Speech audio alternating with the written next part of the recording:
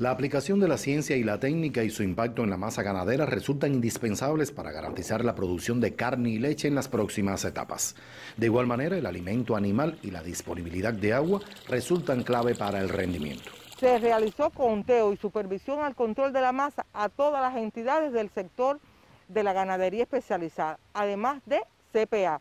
Y reiterativamente se encuentran las mismas deficiencias, como traslados sin documentos, información errónea, eh, no conteo en el momento en el momento que le corresponde, que dígase mensual, nacimiento sin declarar, muerte sin tramitar, todo lo cual conspira contra el desarrollo eficiente de la ganadería en el municipio.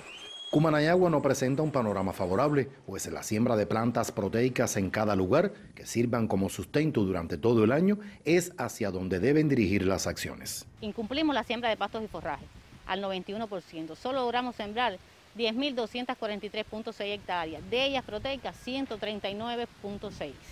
No contamos con, una finca de semillas, solo contamos con un vivero en la empresa pecuaria El Tablón, la cual eh, tiene un área de 0,25 hectáreas y de un plan de 17.000 posturas solo logramos sembrar 11.000 posturas, debido fundamentalmente al déficit de bolsos para esta siembra. Las medidas que pone en práctica el Ministerio de la Agricultura no son producto de la casualidad. El reclamo de los campesinos en el territorio y el interés del Estado en mejorar las entregas agropecuarias e incrementar la comercialización están dentro de la mayor flexibilidad que aplica el sector dirigidas a estimular la transformación en una de las actividades más estancadas en el sistema de la agricultura. En Cumanayagua, Guillermo Martínez López, Notisur.